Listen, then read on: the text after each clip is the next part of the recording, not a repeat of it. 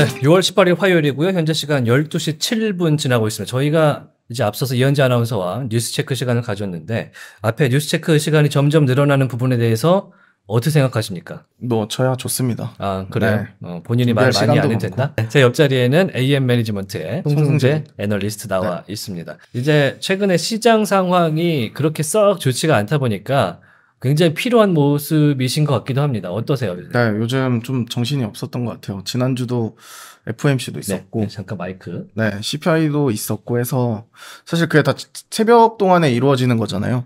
그리고 이제 좀 비트코인 같은 경우 변동성도 좀 컸다고 생각을 해서 좀 대응하느라 정신이 없네요.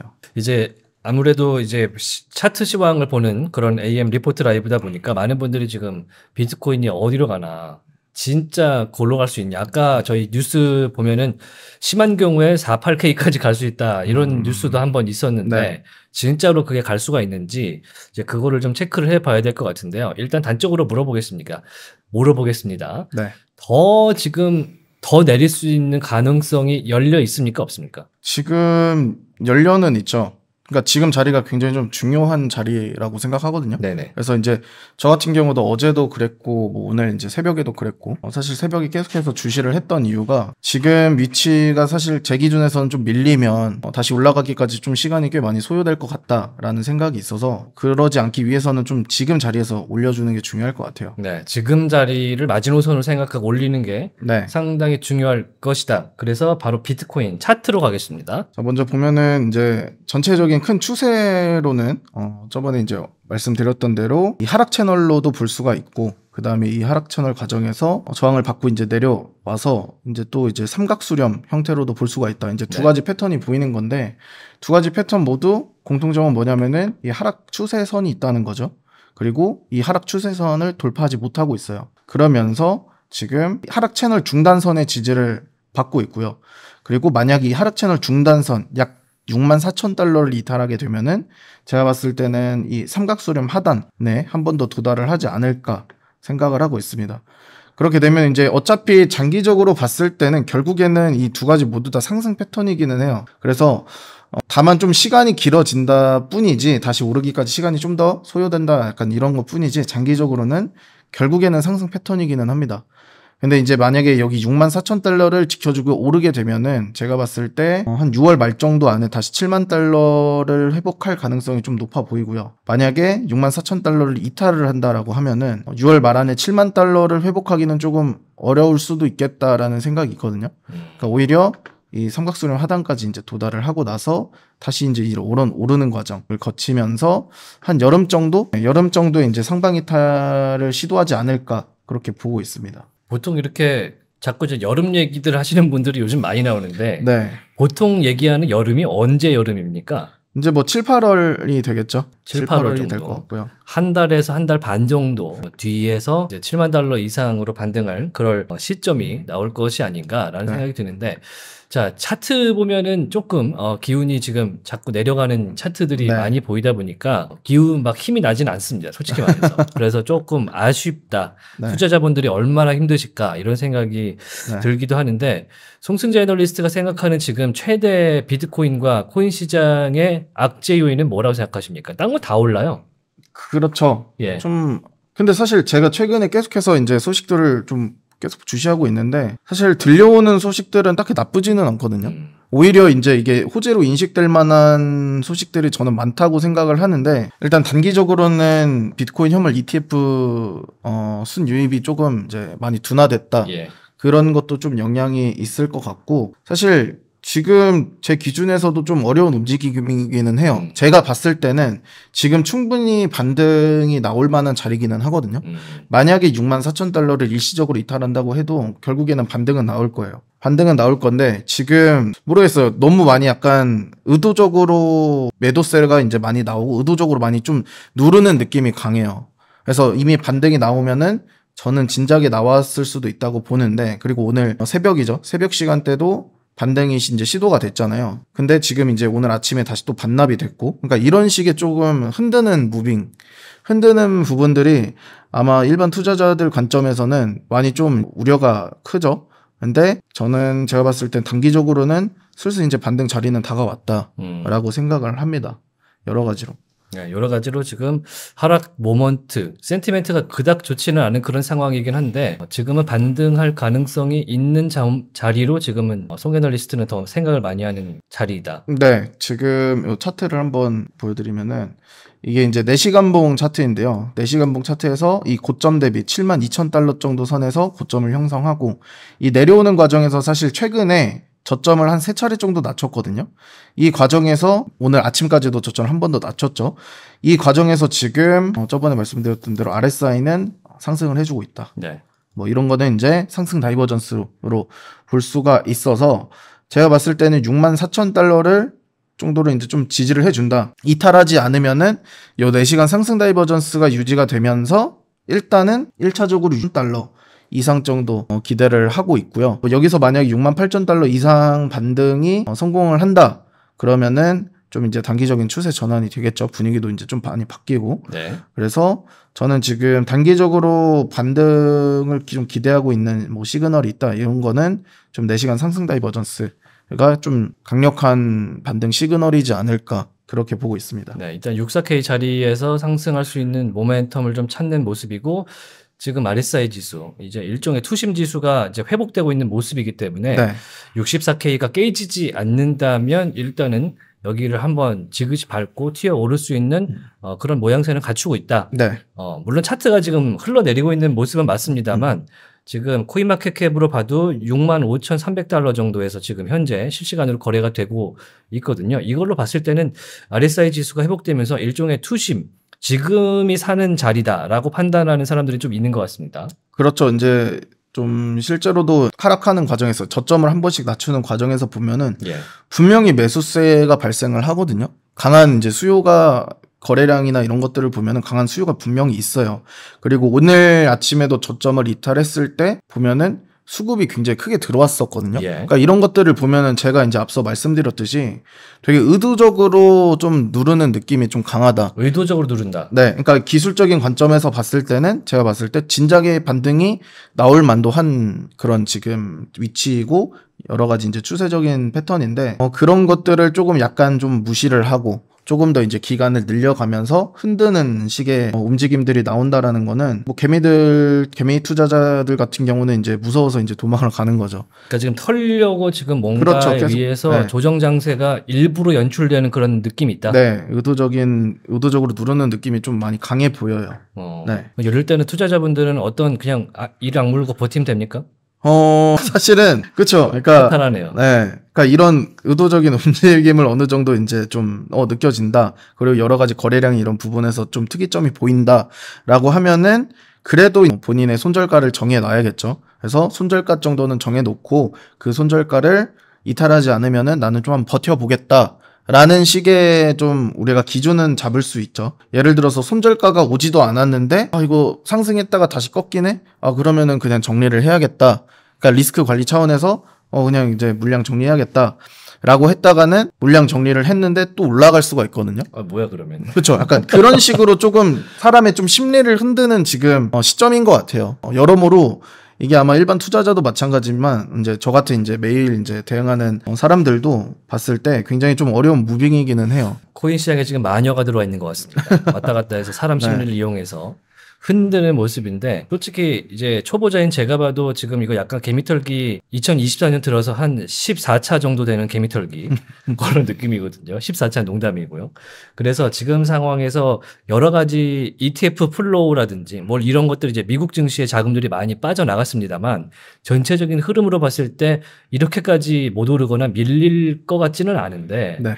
그래서 지금 65K, 64K 한번 갔다 왔습니다만 여기서도 크게 밀리지는 않고 있어요. 그러니까 털기는 털어야 되는데 워낙에 앞에서 ETF flow라든지 전, 전체적인 sentiment가 나쁘지 않다 보니까 크게는 털리지 않고 있고 그렇죠. 그래서 횡보 장세가 굉장히 지금 몇 주간 계속되고 있는 그런 느낌이다. 네네. 저는 그렇게 느끼고 있는데 어떻게 생각하십니까? 네, 그러니까 뭐 말씀하신 대로 그런 식으로 지금 그러니까 막 가격이 크게 내린 거는 아니거든요. 사실 뭐 예. 이제 퍼센트로 따지면은 절대 큰 폭의 하락은 아니에요. 비트코인은 큰 폭의 하락은 아니고 이제 대신 알트코인들이 하락폭이 굉장히 크더라고요. 음, 그러니까 그런 거를 봤을 때 비트코인 하락폭 대비 알트코인 하락폭이 크다. 지금 그러니까 매도세가 사실상 알트코인에 좀 집중이 돼 있는 것 같고 그리고 지금 현재 상태에서 비트코인 같은 경우는 어 제가 봤을 때 오늘에서 이제 그러니까 내일 일봉 마감 전까지 조금 지금 자리에서 확실한 좀 반등을 만들어 나가야 되지 않을까 생각하거든요. 음. 그래서 제가 봤을 때는 지금 단기적으로 어 내일 일봉 마감까지가 굉장히 좀 중요할 것 같아요. 음. 내일 일봉 마감까지 지금 자리를 계속해서 지키면서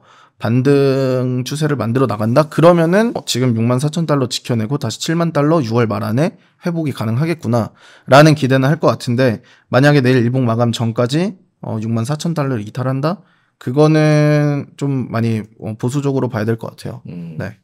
일단 내일 아침 9시에 어떻게 어, 마감이 되는지 마감 상황을 좀 봐야 될 것 같고 그러니까 우리나라 코스피 개장 상황 보듯이 그쵸. crypto 마감 상황을 한번 같이 보시는 것도 좋을 것 같고요. 그러면 이게 64K가 일단은 마지노선, 지지선으로 생각을 한다고 하면 진짜로 내일 아침 9시에 땡 하고 딱 봤더니 깨졌어. 62.8K 막 이렇게 돼요.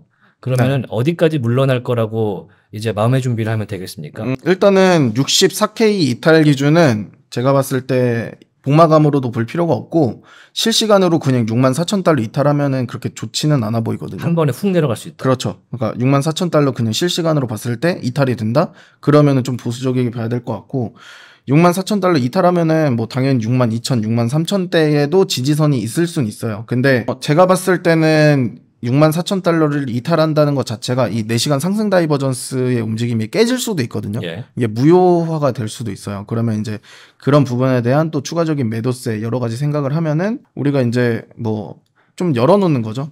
전체적으로. 우리가 이제 기존에 봤던 어, 장기적으로 이 상승 깃발령 패턴, 이 삼각 수렴 형태로 진행될 가능성이 높다. 그러면은 이 하단까지 한번 갈 가능성도 우리가 열어둘 수가 있겠죠. 이 하단은 대략적으로 한 6만 달러 정도 선이 되겠네요. 6만 2천에서 6만 어 5만 9천 정도가 6만 2천에서 5만 9천 달러 정도 이 구간을 음. 추가적으로 도달을 할 수가 있다. 그래서 어, 반드시 좀 지켜줘야 된다. 저지선이 6만 4천 달러 선이 돌파가 되면 현재로는 이제 range가 5만 9천 달러에서 6만 2천 달러요. 그렇죠. 그 정도의 박스권에서 한 번 더 밀려 나갈 어 그럴 상황을 맞이할 수 있다. 2차 저지선은 그러니까 1차는 어 6만 4천이고요. 2차는 5만 9천 선으로 지금 보고 있다. 고 근데 그 얘기인 즉슨 그거를 약간 반등의 모멘텀 자리로 보고 네. 그 자리에서 매수 포인트를 참아도 되는 부분이겠습니까? 어떻습니까? 그거는 조금 위험할 것 같아요. 지금 결국에는 제가 기대하고 있는 거는 지금 6만 4천 달러를 지켜내고 오르는 그림이 가장 베스트라고 생각을 하거든요. 예.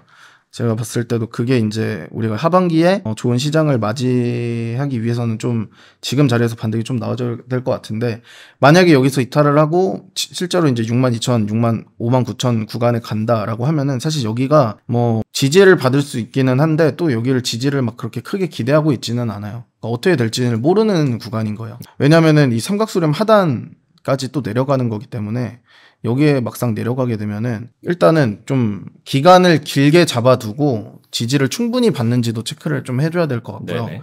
적어도 약간 이때처럼 이때도 굉장히 좀 여러 기간을 조금 보- 봤잖아요. 그러고 나서 이제 올랐던 것처럼 이때도 어, 여기까지 도달을 하게 되면은 꽤 길게 봐야 될 거예요. 적어도 제가 봤을 때 최소 2주지 않을까. 어, 최소 2주 정도는 확인해야 되지 않을까. 네. 그래서 지금 사실 6만 4천 달러 이 구간 요 정도 선에서 올려주는 게 가장 이상적입니다. 그래서 제가 이거를 지금 위치에서 반등이 어, 충분히 나올 수 있는데 왜 못 나오지? 라고 이제 생각하는 이유 중에 이제 마지막 하나가 알트코인들 어제 추세를 좀 전체적으로 훑어봤는데 알트코인들도 사실 좀 많이 하락폭은 크지만 이 하락폭에 대해서 기술적 반등도 충분히 나와줘야 되거든요. 근데 그런 게 일절 없이 그냥 너무 과대 낙폭을 좀 보이고 있어요. 네. 그래서 여러 가지 측면에서 반등이 나올 수 있는 그런 어 여러 가지 패턴들이 있는데도 알트코인들도 너무 과도하게 눌리고 있다. 음. 그래서 알트코인들도 반등을 조금 이제 할 시점이 다가오지 않았나? 그 기술적 반등인 거죠. 어, 낙폭에 대한 그런 부분들이 뭐 20% 정도 가까이 어, 반등이 나오지 않을까는 하는데 어, 그런 부분들을 봤을 때 비트코인도 어, 알트코인들이 약간 그런 반등 시그널을 보이고 있으니까 비트코인도 마찬가지로 반등을 좀 해줘야 되지 않나. 네, 좀 많이 의도적으로 눌리고 있다. 그러니까 거꾸로 말했을 때 알트코인이 뭐 낙폭은 확대하면서 뭐 시장이 지금 규제 상황도 있고 여러 가지로 시장이 좋지 않으니까 많이 물린 음. 어, 밀린 모습을 보였는데 근데 기술적으로 봤을 땐 지금 반등 타이밍이 RTN에 다가왔다 왔다. 그런데 그쵸. 비트도 마찬가지로 지금 지금 6만 4천 달러 선에 에, 선에서 좀 반등을 해줘야 되는 그런 타이밍으로 이제 애널리스트는 보고 있다. 네, 만약에 비트코인이 여기 지켜주고 반등 나와서 한 6만 8천 달러 정도 이상 회복만 해줘도 제가 봤을 때 알트코인은 지금 가격대에서 20% 이상씩 다 오를 거예요. 그러니까 비트코인이 일단은 뭐 대장 주고 뭐 어찌됐든 간에 이 비트코인이라는 걸 통해서 전체적인 가격적인 흐름을 좀 네. 판단할 수 있는데 일단 지금 딛, 딛고 6만 8천 선까지는 한번 회복을 해주면 알트코인들이 또 전반적으로 네. 한번 회복세를 보일 수 있지 않을까 그쵸. 어, 라는 말씀을 드리는데 여기서 만약에 밀리게 되면 아까 말씀드린 대로 이제 5만 9천 달러에서 6만 2천 달러 선의 박스권에 갇히게 되면서 상당한 2주 정도의 횡보장을 어, 가질 가능성이 있다라고 지금 송승 제너리스트가 말씀 주셨는데 2주 뒤면 이제 6월 마감이죠. 네. 월 마감이 돼버리는 그런 상황이기 때문에 좀 장세가 상당히 복잡하게 전개가 되지 않을까. 그래서 상당히 좀 어, 시장에 대해서 좀 보수적으로 좀 보시면서 그러니까 지금은 사실 섣불리 사고 팔고 이런 걸 얘기할 수는 없는 단계인 것 같아요. 음, 그쵸. 네. 예. 근데 이제 뭐 우리가 그래도 좀 지금 지지선 가깝게 내려왔잖아요. 비트코인, 비트코인 기준으로 매수 시도는 해볼 수 있는 자리인 것 같아요. 알트는 안 되고. 예. 알트, 그쵸. 지금 알트는. 알트는 제가 봤을 때 아직까지도 조금 그런 것 같고, 비트코인은 사실 기준선이 명확하잖아요. 6만 4천 달러라는 것도 명확하고, 지금 사실상 기술적 분석으로 봤을 때는 반등이 충분히 나와줘야 되는 시점인 거고, 그런 부분에서 저는 충분히 손익비 좋은 자리라고 생각하거든요. 사실 이런 자리가 우리가 충분히 좀 어, 공격적으로 이제 한번 어, 시도를 해봐도 되는 자리인 거죠. 네. 자, 지금 잠깐 어, 댓글 한번 읽어보면요. 보통은 이제 알트 장이 안 좋을 때는 비트코인으로 이제 알트에서 어, 돈을 빼서 비트로 많이 들어오고 이런 모양도 보였는데 지금 아까 말씀하셨듯이 이제 유입 자체가 그렇게까지 돌지 않는 지금 어, 자금들이 돌지 않는 그런 모습을 좀 보이면서 답답한 구석이 있기 때문에 여러분들도 좀 어, 역시 보수적으로 말씀대로 그렇게 접근을 좀 하셔야 될 것 같고요. KJHN이냐면 9월까지는 조정이지 뭐 이렇게 말씀하시고요. 지지발자님이 비트 반등 가자 이렇게 말씀해 주시는데 자 상태를 좀 봐야 될 것 같습니다. 자 야나님께서 뭐 CG 관련된 이야기를 계속해서 댓글에 남겨주시는데 저희가 이제 송승재 애널리스트의 어, PIP 분할을 조금 어, PD님께서 조금만 줄여주시면 좋을 것 같고 저희가 굳이 이렇게 새로 이렇게 꽉 찬 CG를 만들지 않는 이유가 이제 차트 시황 때는 있습니다.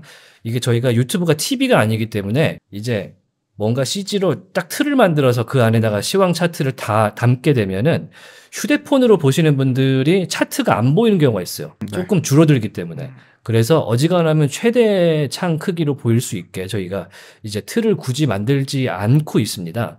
그래서 만약에 정말로 원하시는 분이 많으면은 저희가 다른 뭐 경제 방송들이 많이 하듯이 네. 예쁘게 틀을 잡아서 제작을 해드릴 수도 있는데 현재는 저희 입장은 그렇다는 점 말씀드리고 CG 얘기를 정말 오랫동안 계속 하셔갖고 어, 이렇게 말씀을 그냥 드릴까 말까 하다가 그냥 이렇게 드립니다. 좋습니다. 자 그러면 비트코인은 일단 6만 4천 달러 선을 지지선으로 보고 네. 조금 희망적으로 장을 보는 편이 좋겠다.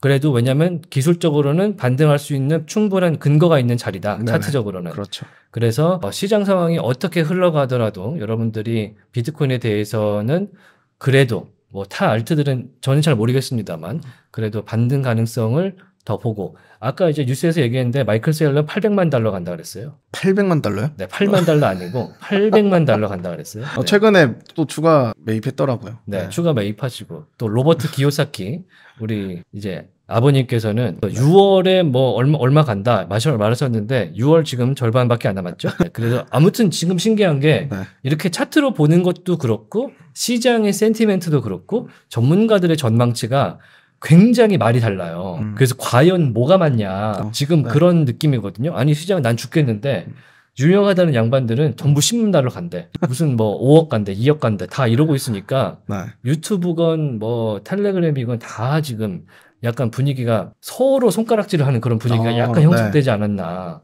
그런 느낌이 드는데 어찌됐든 차트는 현재 상황으로 봤을 때는 거짓말 하지 않기 때문에 네. 지금 말씀 주신 부분들을 오늘 비트코인에 꼭 유의하시기 바랍니다. 시간이 좀 지났기 때문에 얼렁얼렁 알트로 넘어갈 텐데요. 이더리움에 반등 하나 했더니 다시 그냥 제자리에 돌아왔네요. 그렇죠. 예. 이더리움이 지금 주요 지지선을 이탈을 했어요. 그러니까 기존에 그래도 최근에까지는 좀 그나마 알트코인들 중에서 이제 대장주 노릇하듯이 음. 좀 추세를 잘 유지해주는 편이긴 했는데 어, 이탈을 했습니다. 지금은 이탈을 해서 이 3,500달러가 가장 좀 중요한 지지선이었지만 여기를 이제 이탈을 한 거죠. 그러면서 일봉 이평선까지 지금 좀 약간 좀 위태위태해요. 예. 어, 여기서 이제 만약에 추가적인 하락이 나오게 되면은 이더리움도 마찬가지로 추세가 이제 다시 하향 추세로 꺾이는 거죠. 그러니까 여러모로 지금 이더리움한테도 좀 중요한 부분이 뭐냐면 비트코인이 여기서 어, 반등을 좀 해주면은 이더리움도 다시 회복할 수 있는 추세가 나올 수 있어요. 충분히. 그리고 좀 생각보다 빠를 것 같아요. 제가 최근에 며칠 사이 그 이더리움까지는 제가 조금 이제 매매를 좀 해봤었는데 이더리움이 단기적으로 반응이 다시 조금 올라오고 있거든요. 그러니까 비트코인 대비 반응이 조금 이렇게 더 긍정적인 그런 변동성을 좀 보이고 있기는 한데 네네. 일단은 오늘 또 아침에 좀 이렇게 비트코인이 이제 이탈을 하면서 이더리움도 이제 다시 또 단기적으로 꺾여는 있지만 지금 일단 비트코인이 만약에 6만 4천 달러 지켜주고 반등해 주면은 제가 봤을 때 이더리움의 반응을 좀 지켜보는 것도 좋을 것 같아요. 이더리움이 그래도 단기적으로 최근에 계속 어, 비트코인 대비 또 괜찮은 그런 변동성을 보여줬기 때문에 반등할 경우 이더리움 좀 주목하면 좋을 것 같다. 네. 네.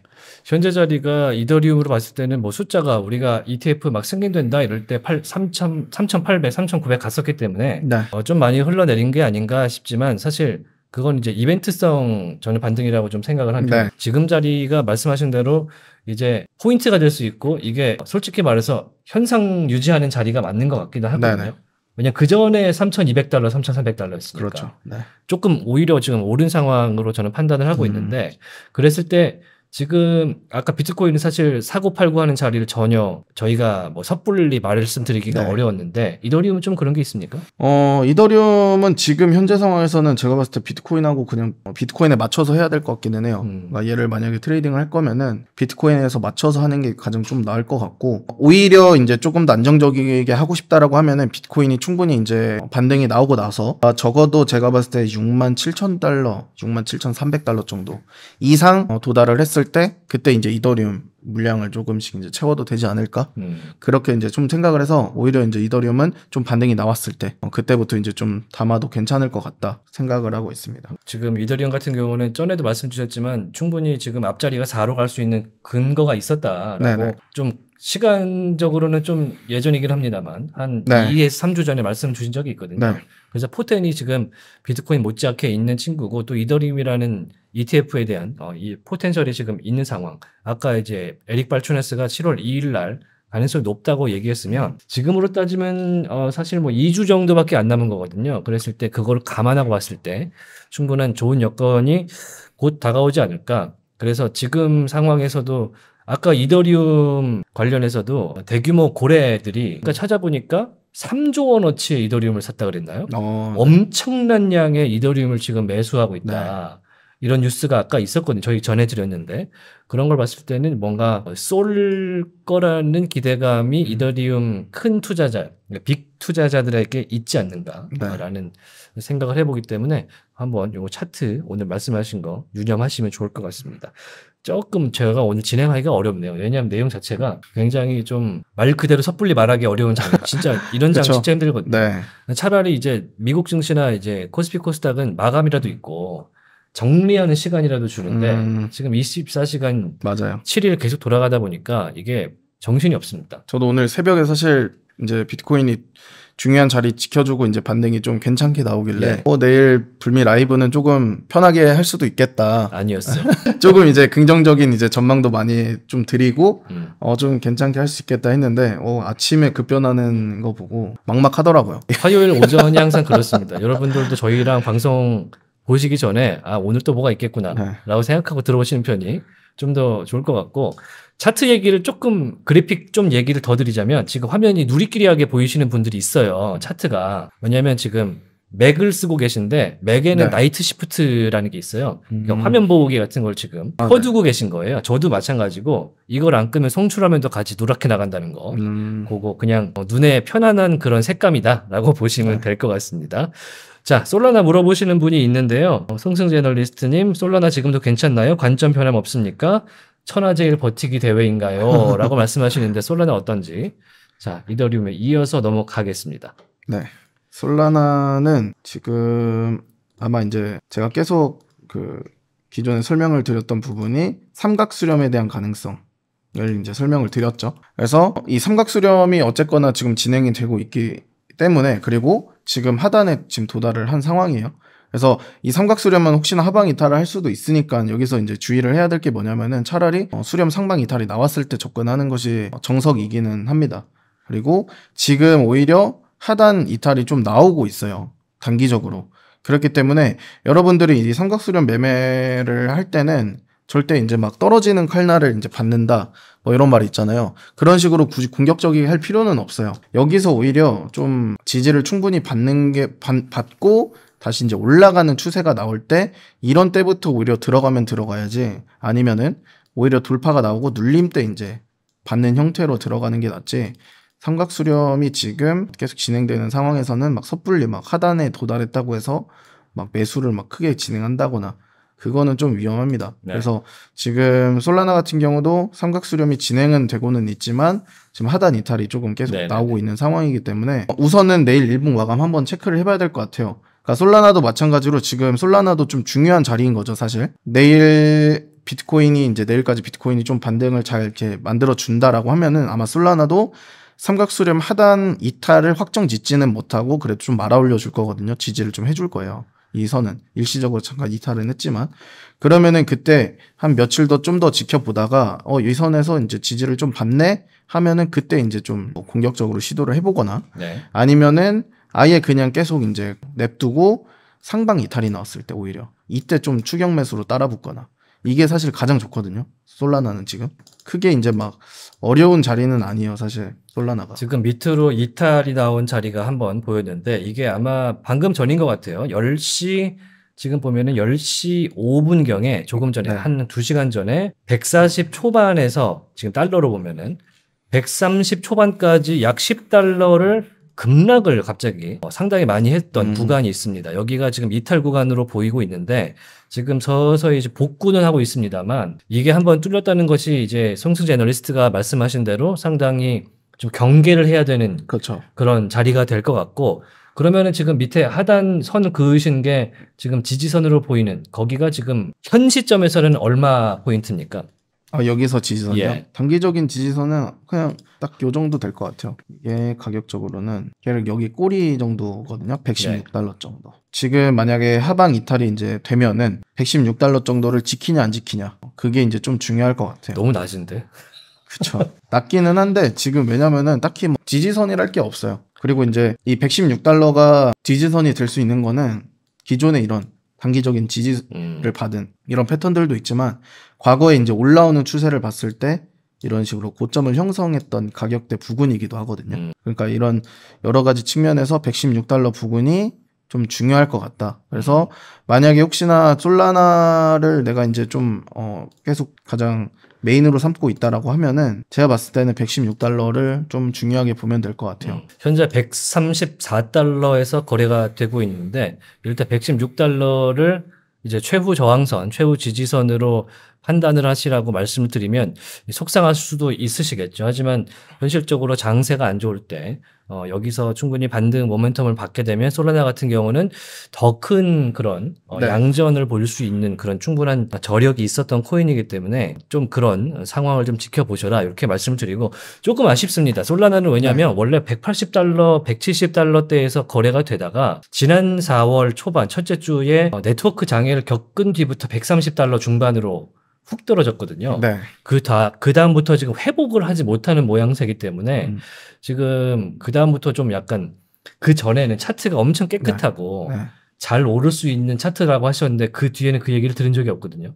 그러니까 뭔가 뭔가 뭔가 엉킨 것 같아. 음. 차트적으로도 그렇고 이 수급 흐름이 뭔가가 엉켰다. 근데 장기적으로는 사실 뭐 비트코인도 마찬가지지만 장기적으로 장기적인 이제 만들어가는 추세 패턴 자체는 사실 부정적인 건 없어요. 지금 이것도 사실 단기적으로 보니까 우리가 좀 단기적으로 비트코인이 하락하면서 얘도 이제 휩쓸리고 하니까 좀 단기적인 부분에서 우려를 해라 주의를 해라 이런 부분인 거지 큰 추세로 보면은 사실 지금 아직까지도 괜찮아요. 왜냐면은 이평도 그렇고 장기 추세는 다 살아있거든요. 좋습니다. 네.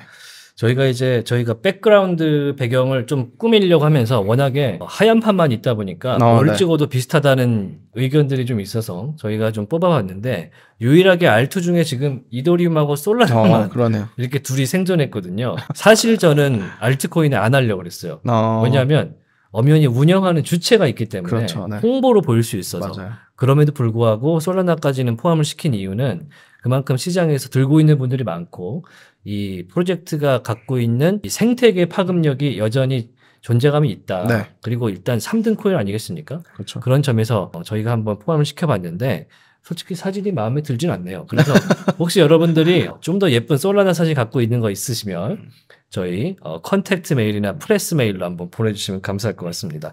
그리고 용가리 용용 용님께서 오늘 왜 이렇게 어, 저희한테 기 저기 뭐랄까 후원금을 많이 주시는지 모르겠습니다. 어, 정말요? 제 만 원 감사드리고요. 초반에 2천 원과 7천 원이었나요? 아, 저희가 말씀 네. 못 드렸는데 너무 감사드리고 저희 송승재 애널리스트가 말씀해 주시는 이 화요일마다의 차트 시황을 좀 더 보람차게 만들도록 하겠습니다. 맛있는 어, 커피와 식사 대접하겠습니다. 고맙습니다. 용가리 용룡님. 전 이런 게 이- 익숙하진 않아갖고 좀 어색하긴 하네요. 소르나까지 봤고요. 그러면 이제 리플. 리플이 최근에 이제 자기들 입으로 일종의 이제 호재 예고성 기사들을 많이 음. 내면서 반등을 좀 도모를 했어요. 근데 네. 아쉽게도 그렇게 크게 오르진 못했고 네. 저희가 한참 봐왔던 0.5달러대가 깨졌거든요. 그래서 지금 리플 가격도 0.48달러에서 움직이고 있고 일주일 기준으로도 지금 하락하는 모습을 또 보이고 있습니다. 리플은 정말 차트는 항상 좋다고 다들 하셨는데 네.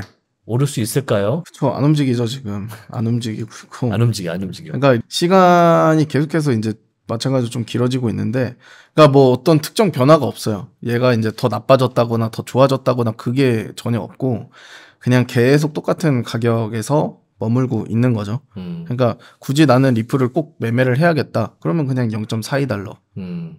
손절 잡고 뭐 모아보거나 그런 형태로. 지금 똑같아요, 그냥. 약간 전송용 토큰으로 살 거 아니면 투자를 굳이 할 거 없다. 네, 그러니까 사실 가장 좋은 거는 여기서 반등이 한번 강하게 나와서 이제 다시 추세가 좀 꺾여 올라가는 그런 움직임 추세가 나왔을 때 예.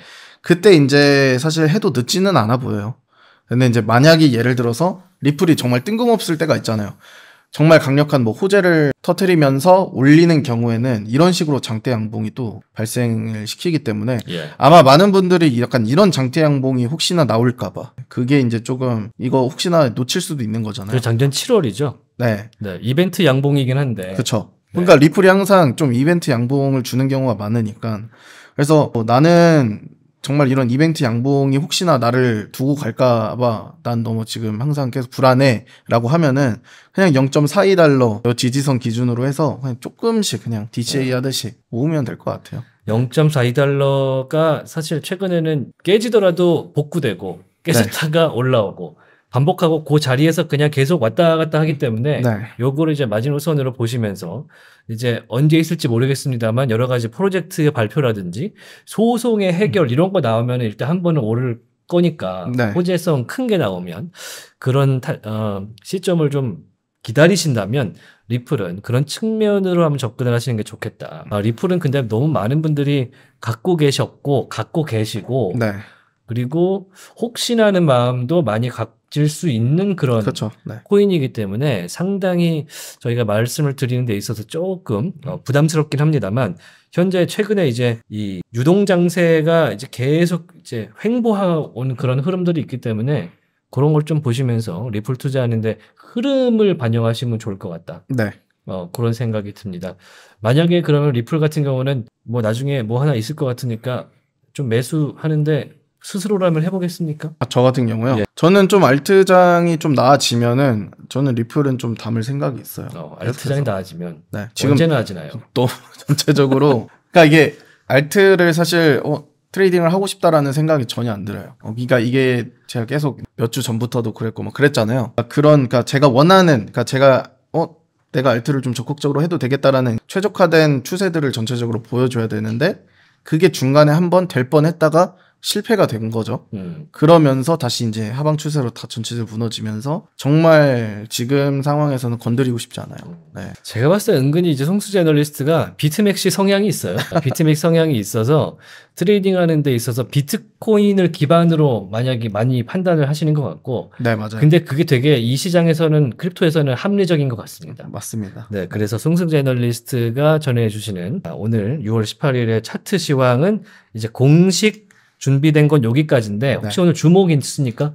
아니요, 주목 지금 아, 주목 쉽지 네, 않다. 네, 쉽지 않습니다. 아, 주목 쉽지 않습니다. 그래서 여러분들이 앞서서 언급해 주신 것들을 조금 체크하고 넘어가 볼 텐데 제 눈에 들어온 게 하나 있습니다. 네. 아, 앞에서 딱 얘기하신 게 일단 스택스 하나 눈에 보입니다. 어, 스택스. 아, 스택스. 스택스가 정말 많이 올랐었는데 많이 떨어졌어요. 자, 스택스의 이 흘러내림은 어, 요새 상당한 기조가 좀 있습니다. 네.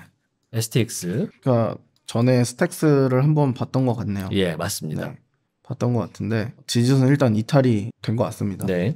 약간 느리네요. 왜 갑자기 느려진지 모르겠는데. 네. 어, 그나마 이제 좀 지지선으로 볼 수 있는 게 1.88달러 정도였다라고 봤던 것 같은데 네. 이 정도 선인 거죠. 이 정도 선으로 봤던 것 같은데 그 이탈됐죠. 그러니까 이탈이 돼서 사실 스택스는 지금 굉장히 좀 너무 건드리면 안 될 것 같다. 그 음. 딱 보이지 않나요? 스택스는 어, 일단은 선을 좀 넘었다. 어, 강을 네. 좀 건너갔다. 지금 이게 로딩이 좀 늦어가지고 지금 제가 세팅해 놓은 이평선이 지금 이게 딱 나타나지는 않고 예. 있는데 아마 지금 주가가 이평선 밑으로 이제 빠지면서 이격 차이 벌리면서 하방 압력을 엄청 받고 있을 거예요 지금 네. 이평선 밑으로 어, 분명 그래서 이런 종목 같은 경우는 정말 굳이 우리가 어, 쳐다볼 필요가 없죠. 그러니까 지금 많은 분들이 그러니까 이걸 수도 있어요. 지금 상황에서는 제가 봤을 때 이거를 단기적으로 매수를 하기 위함이 아니라 이미 물려 있는 어, 분들도 조금 있을 거라고 생각을 하는데 그러니까 그런 분들에게 아마 이제 스택스도 과거에 이제 말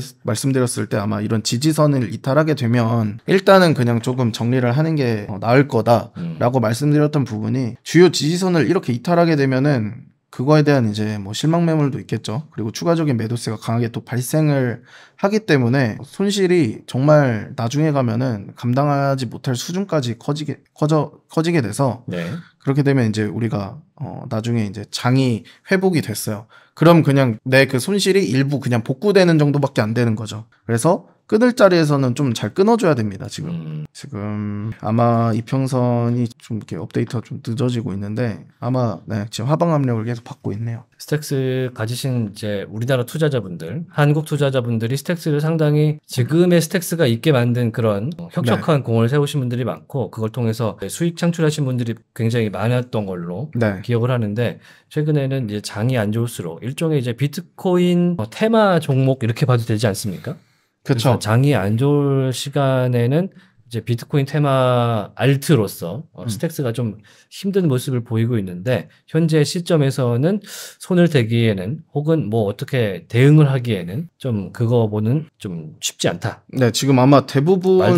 종목들이 스택스처럼 지금 아마 이거 차트 한번 보여주시면 될 것 같은데 차트 보시면은 지금 요 진한 파란 선 있잖아요. 여기 이제 제가 이제 항상 좀 중요하게 보는 일봉 31선. 네. EM의 이동 어, 지수 이동 평균선인데 이 31선이 이하로 이제 주가가 이탈 되면서 지금 오히려 어, 하향 추세로 꺾이고 있잖아요. 네. 31선이 이러, 이러, 이렇게 됐다는 거는 계속해서 하방 압력을 가한다는 거죠. 음. 어, 그럼 우리가 정말 단순히 그냥 봤을 때 굳이 건드릴 필요가 없는 종목인 거예요. 음. 어, 절대 건드리면 안 되고 이런 거 건드려가지고 단타로 해고 수익 보면 되지 않아? 그거는 굉장히 좀 오만한 생각이다. 이제 추세적으로 봤을 때도 이제 진한 어, 저런 추세선이 밑으로 꺾였다는 것은 이제 하락의 길로에 들어섰다.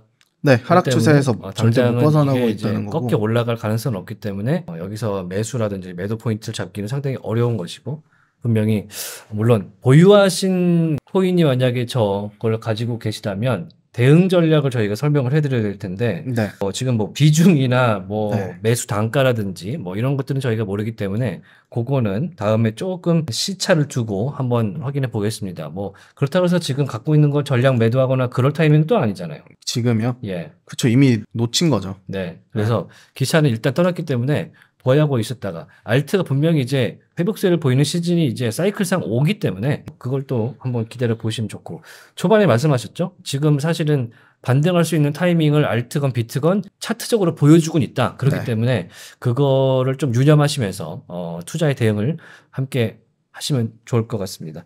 자 오수방님께서 자 MEW 미우라고 읽나요? Cats in the Dogs World 강아지 세상의 고양이라는 이제 밈코인인데 빗썸에 있나 봐요. 잘 저희가 밈코인을 잘 안 봐서 잘 몰랐는데 네 Dogs World 어. 미우라는 네. 토큰인 것 같습니다. 밈코인인데 그래도 상장된 지 꽤 됐습니다. 어. 글로벌 여러 거래소에 많이 올라와 있는 것 같아요. 한번 OKX 봐달라고 하시네요. OKX 거래소 있나요? 네, 한번 봐주시죠. 어, 최근에 저도 막 기사들 보니까 오히려 이제 민코인들에 대한 수요가 있더라고요.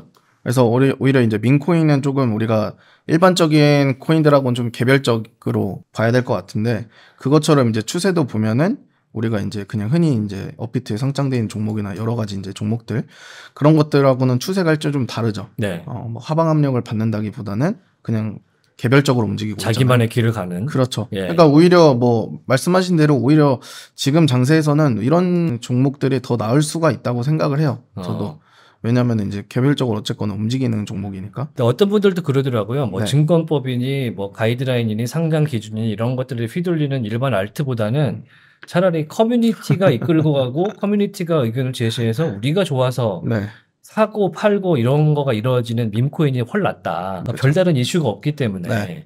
그런 이야기들도 사실 많은 분들이 요새는 하시더라고요. 음. 그래서 오히려 탈중앙화라는 이런 그런 개념에서는 밈코인이 차라리 낫지 않냐 이렇게. 얘기하시는 분들도 있더라고요. 네, 네. 맞습니다. 그래서 밈코인 요새 상당히 성장세가 뚜렷한 것 같고 물론 뭐 알트도 그렇고 밈스, 밈코인도 그렇고 연초부터 시작을 해서 봤을 때는 수익률적으로는 밈코인이 떨어질 때는 훨씬 화끈하게 떨어지기도 하지만 뭐 이런 것들도 이제 코인 시장에서는 저는 사실은 밈코인이 이걸 왜 사지 이런 측면에 가까웠는데 요새는 조금 약간 설득됐습니다. 그렇죠. 네. 그러니까 오히려 좀 일반적인 알트코인 건드릴 바에는 이런 밈코인 자체를 건드리는 게 리스크적으로는 조금 더 낮을 수는 있을 것 같아요. 네. 근데 지금 방금 질문 주신 거는 단기적으로는 조금 단기적으로는 조금 매수를 진행하기는 애매모호해요. 네, 애매모호합니다. 왜냐하면은 지금 상승이 단기적으로 잘 나오고는 있는데 지금 또 꺾이고 있잖아요. 음, 그렇기 때문에 지금 단기적으로 뭐 굳이 들어갈 만한 자리다라고 생각하는 건 아닌 것 같고 음. 여기서 일단 최소 다시 양봉 만들어 주면서 적어도 이 일봉 30일선 이렇게 잘 타고 있잖아요. 그러게요. 어, 예를 들자면은 이런 식으로. 이런 식으로 캔들이 일봉 31선 위에서 계속 지지를 받는다? 그럼 이런 식, 이런 식으로 지지를 받으면은 한 번 나오고 어, 사면 돼요. 그러니까 얘가 오히려 지금 음봉이 이제 내일 일봉 마감이 어떻게 될지 모르겠지만 위로 이제 마감을 하면서 다시 좀 안착하는 형태로 가준다. 이런 식으로 뭐 이런 식으로 이렇게 가준다 하는 과정에서 candle이 여기서 이렇게 지지를 계속 받아준다. 음. 그러면 사면 되는 거죠.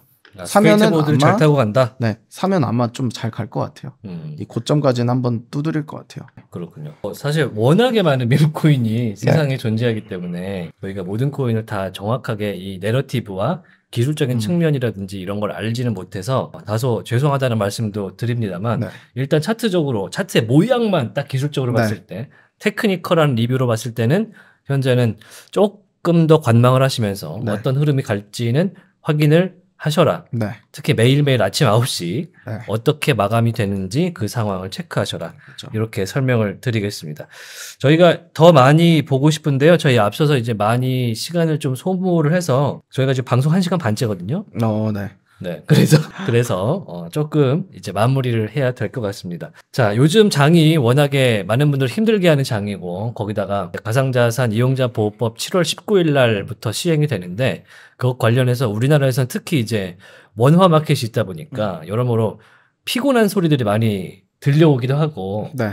특히 요새 한 이틀, 삼일 동안 상폐 찌라시가 많이 돌고 있는 걸로 알고 있어요. 맞아요. 아, 많이 들어보셨죠? 네네. 얘는 위험하다, 얘는 뭐다, 음. 얘는 김치다, 얘는 버거다, 음. 얘는 국내 유통량이 얼마고, 무슨 사고를 쳤고 이런 얘기가 너무 많이 들리는데 물론 그런 근거를 통해서 이제 금융감독원이나 금융위원회 그리고 각 거래소들이 협의를 해서 처리를 하는 건 맞습니다만 찌라시는 현재까지는 찌라시일 뿐이다. 네네. 어, 동요하지 마시고 일단 crypto 시장의 투자에 대한 내러티브 자체를 충실하게 가져가셔라. 글로벌 시장이잖아요. 그렇죠. 한국만 있는 K 코, crypto 시장 아니고 코스피 코스닥 아니기 때문에 여러분들이 글로벌적인 환경에서 그걸 넓게 보시고 대응하시는 게 조금 더 마음이 편하실 것 같고요.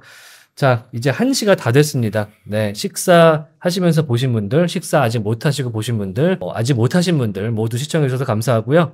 저희는 다음 주 화요일 날 다시 한번 돌아오도록 하겠습니다. 오늘도 성투하시고요. 그리고 어, 편안한 하루 보내시기 바랍니다. 오진석이었고요. 송승재였습니다. 네, 고맙습니다. 안녕!